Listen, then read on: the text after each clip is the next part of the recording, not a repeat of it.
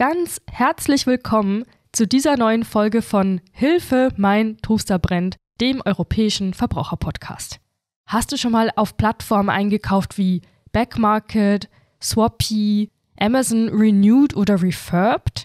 Diese Plattformen, die verkaufen ja sogenannte refurbished Ware. Da findet man iPhones, Smartwatches, Laptops, alles Mögliche und oft ein bisschen günstiger als Neuware. Was es mit refurbished überhaupt auf sich hat, was das ist, was die Vor- und Nachteile sind, das beleuchten wir heute in dieser Folge.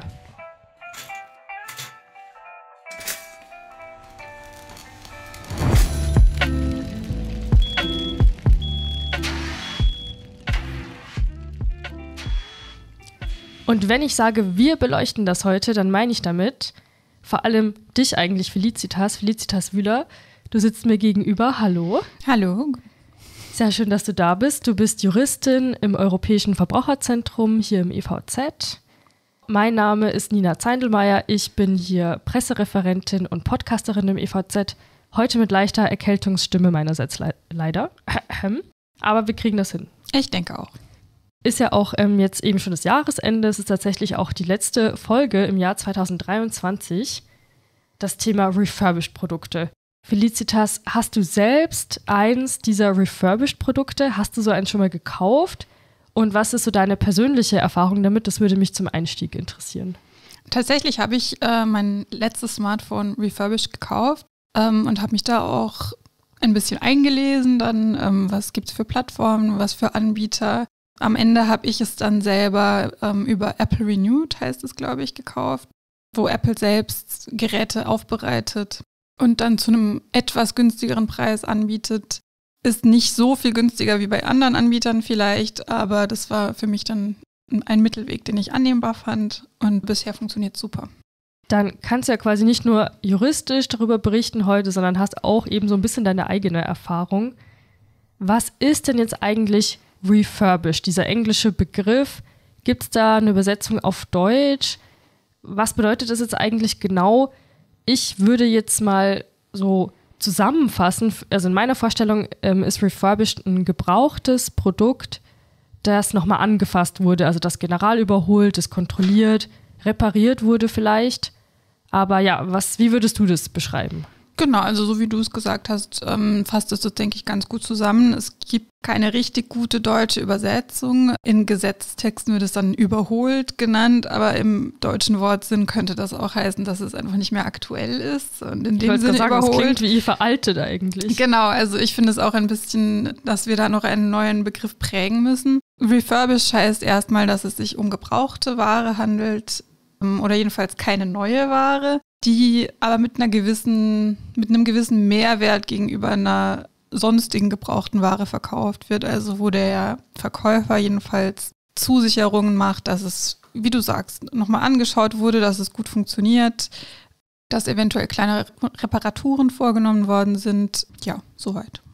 Ist das jetzt ein allgemeiner, ein definierter Begriff, den auch alle gleich verwenden? Also kann ich da immer das gleiche die gleiche Art von Produkt erwarten, die hinter Refurbished sich versteckt oder benutzen das alle unterschiedlich? Also ich denke, in diesem generellen Sinn, wie wir ihn jetzt besprochen haben, benutzen das schon alle gleich, aber es gibt jetzt keine Definition, die wirklich verbindlich wäre. Das definieren auch die Plattformen selbst nochmal anders. Also auf, wenn ich jetzt auf einer Plattform bin, zum Beispiel Backmarket, Refurb, solche Sachen, dann werde ich neben den Produkten sehen, dass ich Kategorien auswählen kann, wie gut erhalten das sein soll, wie groß die Reparaturen vielleicht waren, die vorgenommen sind, oder ob es nur einmal überprüft wurde und quasi wie neu ist. Ähm, insofern, das sind alles refurbished Kategorien. Ja, also es gibt keine verbindliche Definition. Es ist auch rechtlich bisher in Deutschland jedenfalls nicht eingefasst heute wollen wir uns natürlich angucken, was sind jetzt eigentlich so die Vorteile und die Nachteile davon. Du meintest jetzt, du hast die Erfahrung gemacht, dass du dadurch ein günstigeres Smartphone kaufen konntest. Ist Refurbished denn wirklich immer günstiger oder worauf muss ich da achten? Also im ersten Moment, der Kaufpreis ist in der Regel günstiger als das neue Gerät. Es kommt natürlich auch immer darauf an, wie aktuell das Modell ist, das ich kaufen möchte. Wenn wir jetzt über ein Smartphone, ein Laptop, sonstige, das sind ja meistens Elektronikprodukte, sprechen, dann wird es natürlich auch günstiger, je älter das Modell ist, das ich kaufe. Dann sollte ich drüber nachdenken, verringert sich dann auch meine Nutzungszeit dafür, wenn ich jetzt zum Beispiel kein Software-Update mehr bekomme nach einer gewissen Zeit. Das variiert ein bisschen nach Hersteller. Ähm, es gibt Anbieter, die nur zwei Jahre zum Beispiel Software-Updates anbieten, was sie auch müssen. Also mindestens zwei Jahre habe ich ja Gewährleistung. Es gibt andere, Apple zum Beispiel updatet, ich glaube mindestens fünf Jahre, nach meiner Erfahrung auch länger. Darüber sollte ich nachdenken, einfach bei der Wahl meines Modells. Dann ist es aber jedenfalls ein bisschen günstiger. Es hängt ein bisschen auch von meiner Erwartungshaltung ab. Ne? Also wenn ich etwas möchte, das quasi wie neu ist, aber einfach günstiger, da muss ich Abstriche machen. Also wenn ich jetzt wirklich einen deutlich geringeren Preis bezahlen möchte, dann werde ich auch vielleicht auf die Produktkategorie zurückgreifen müssen, wo mehr Kratzer drin sind, wo der Akku vielleicht nur noch 80 Prozent beträgt. Das sind alles solche Sachen, die sollte ich mir genau anschauen, ähm, wenn ich Preise vergleiche, auch welche Definition welcher Händler oder welche Plattform hat damit ich auch einschätzen kann, ist dieser Preis jetzt wirklich günstiger oder ist das Gerät einfach schlechter im Vergleich. Wir haben uns das ja auch zusammen mal angeguckt. Wir waren auf ein paar Plattformen unterwegs und da haben wir ja schon festgestellt, dieses refurbished ist nicht gleich refurbished. Wie du gerade schon meintest, kann man oft auswählen, es soll wie neu sein oder der Zustand kann in Ordnung sein. Da gibt es auch ganz verschiedene Begriffe. Da kann man sich oft durchklicken. Wir waren sogar auf eine Plattform, die da eine Vorschau gegeben hat von einer Smartphone-Hülle, da waren dann bei der einen Beschreibung wenige Kratzer drauf oder gar keine. Wenn man sagt, der Zustand soll nur okay sein, waren da vielleicht schon sichtbare Kratzer mit drauf. Das heißt für mich, ich muss auf jeden Fall ein bisschen Zeit reinstecken, recherchieren und mich genau damit befassen, was ich da jetzt eigentlich kaufe. Genau, also ich glaube, der erste Schritt ist auch zu überlegen, was ist denn mein Erwartungshorizont an das Gerät, das ich kaufen will? Also ist es für mich okay, wenn da Kratzer drin sind? Oder wie gesagt, möchte ich eigentlich ein wie neues Gerät aus Umweltgründen oder einfach um den Geldbeutel zu schonen, ein bisschen günstiger kaufen. Dann wird der Preis aber nicht so viel geringer sein im Vergleich zum Neugerät. Jetzt haben wir schon genau Preis, auch die Nachhaltigkeit. Was sind denn für dich die Vorteile oder was sind auch die Nachteile von Refurbished-Produkten im Vergleich zu Neuware? Also da gibt es ja mehrere Aspekte, wie du sagst. Wenn ich jetzt einfach über meine Rechte spreche und über den Preis, also es wird in der Regel ein bisschen günstiger sein. Ich habe im Vergleich zu einem Neugerät weniger Gewährleistungszeit. Das muss man einfach sich klar machen. Rechtlich in Deutschland ist es nicht definiert. Insofern handelt es sich einfach um ein gebrauchtes Gerät. Dafür kann der Verkäufer die Gewährleistung verringern. Das heißt, wenn die das festlegen, dann habe ich nur ein Jahr und keine zwei Jahre Gewährleistung. In dieser Zeit gilt es genauso, dass wenn was kaputt ist, muss es repariert werden, aber eben nur ein Jahr im Zweifel. Genau, wenn ich da nur einhaken darf, in ganz einfachen Worten formuliert würde ich sagen, Gewährleistung ist mein Produkt, ich kaufe es, es geht kaputt und dann habe ich die Möglichkeit, eine Reparatur zu fordern oder ein neues Produkt oder im schlimmsten Fall Geld zurück was du da genau für Rechte hast, das verlinke ich dir auch nochmal in den Shownotes, da kannst du es auch nochmal nachlesen. Wobei kurze Ergänzung, es geht kaputt heißt nicht, dass es mir runtergefallen ist. Das fällt da nicht runter. Aber also im Sinne von, ich habe es schon kaputt gekauft und merke dann zu Hause, da stimmt was nicht. Ganz genau. Oder es zeigt sich halt in der, im Laufe der Zeit, dass irgendwas nicht ordentlich repariert wurde oder solche Dinge. Ja. Das heißt, bei Refurbished habe ich auch Rechte. In dem Fall sind sie jetzt kürzer.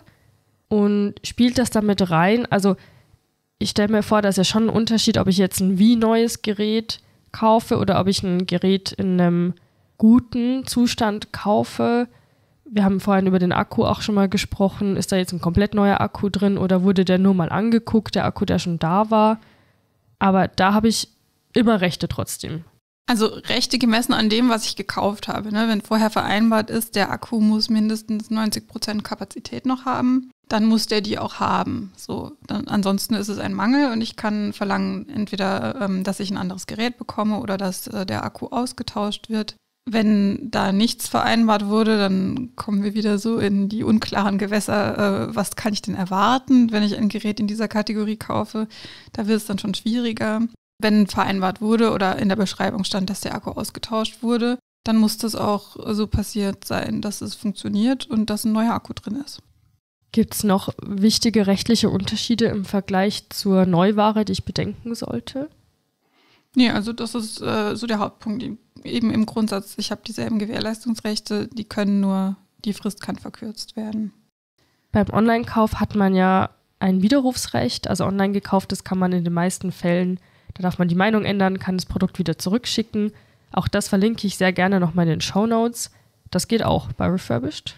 Ganz genau, ja. Würdest du denn sagen, es gibt klare Nachteile oder gibt es noch Punkte, wo du sagst, da muss man auf jeden Fall super aufpassen vor dem Kauf?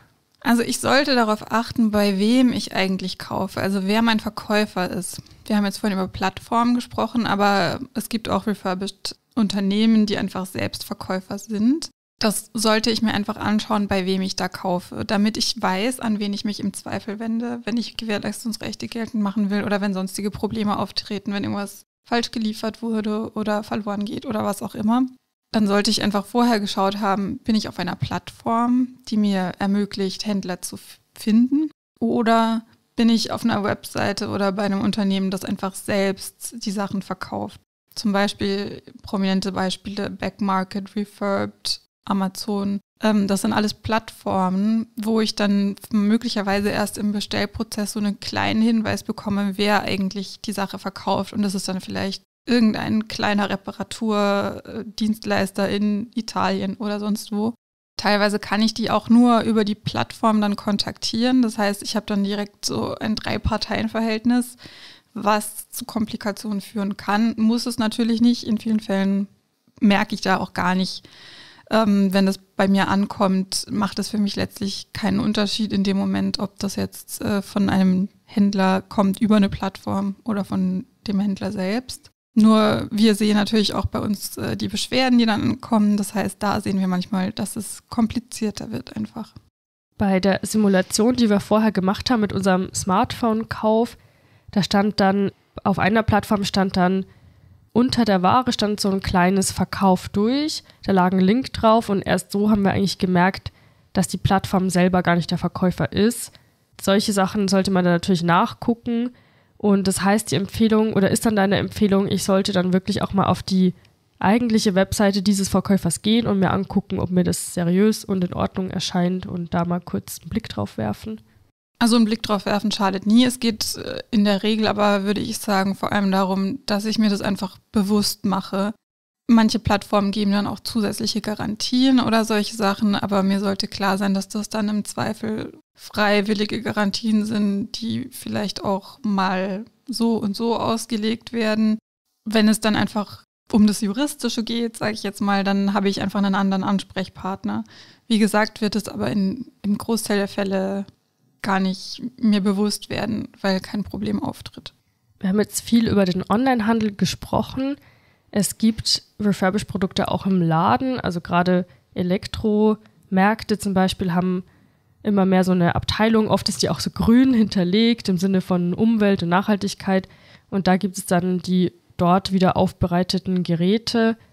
Mir ist eben aufgefallen, dass da ganz viel dieses Grün verwendet wird können wir da was dazu sagen? Wie nachhaltig ist es denn jetzt überhaupt, so ein Refurbished-Gerät zu kaufen?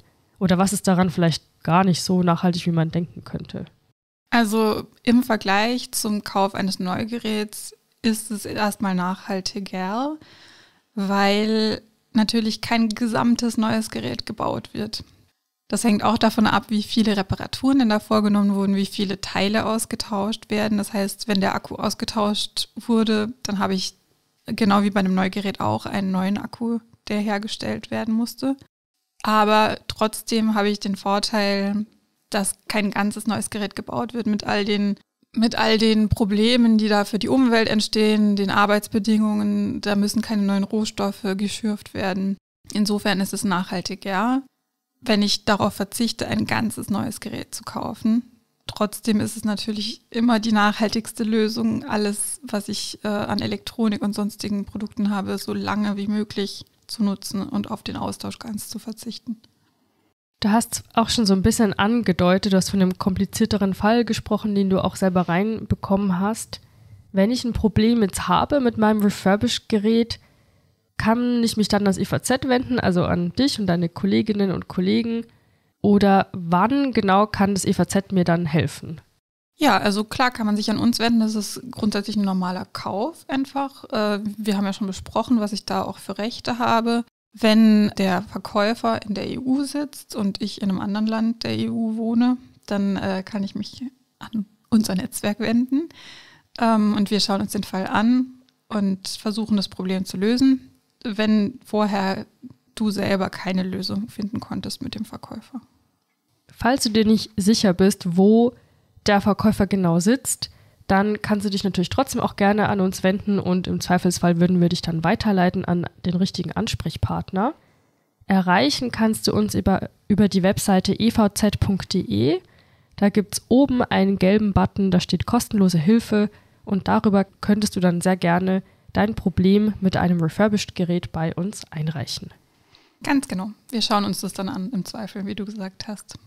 Felicitas, gibt es noch einen wichtigen Punkt, den ich bisher noch gar nicht erwähnt habe und der dir noch am Herzen liegt bei dem Thema? Wie gesagt, einfach genau schauen, was ich kaufe, mir klar machen, was ich für eine Erwartung habe. Und dann kann das eine gute Sache sein, wo ich ein bisschen weniger bezahle, ein bisschen was für die Umwelt tue und im Zweifel auch eine, ein gut funktionierendes Gerät habe. Eine Zusammenfassung zum Thema Refurbished Geräte, die verlinke ich dir auch nochmal in den Show Notes. Wir hoffen natürlich, dass du dank all dieser Infos eine gute Kaufentscheidung treffen kannst und für dich einfach gut entscheiden kannst, ob du jetzt ein refurbished Gerät wählen möchtest oder lieber doch ein neues zum Beispiel oder gar keins, wer weiß. Felicitas, vielen, vielen Dank für die ganzen Informationen. Sehr gerne. Wie immer sage ich am Ende, bewerte sehr gerne diesen Podcast, auf welcher Plattform auch immer du ihn dir anhörst. Das hilft uns natürlich sehr. Wenn du Fragen hast, Anregungen, Kritik, dann gerne per E-Mail an podcast.evz.de. In diesem Sinne wünsche ich, auch wenn ich das bei der letzten Folge auch schon gesagt habe, aber doppelt hält besser. Ich wünsche dir ein wunderbares Jahresende und ja, sag einfach noch einmal viel Spaß mit dieser Folge und leite sie natürlich auch sehr gerne an Freunde, Verwandte, Familie weiter, die das auch interessieren könnte. In diesem Sinne sage ich, mach's gut und bis bald. Tschüss.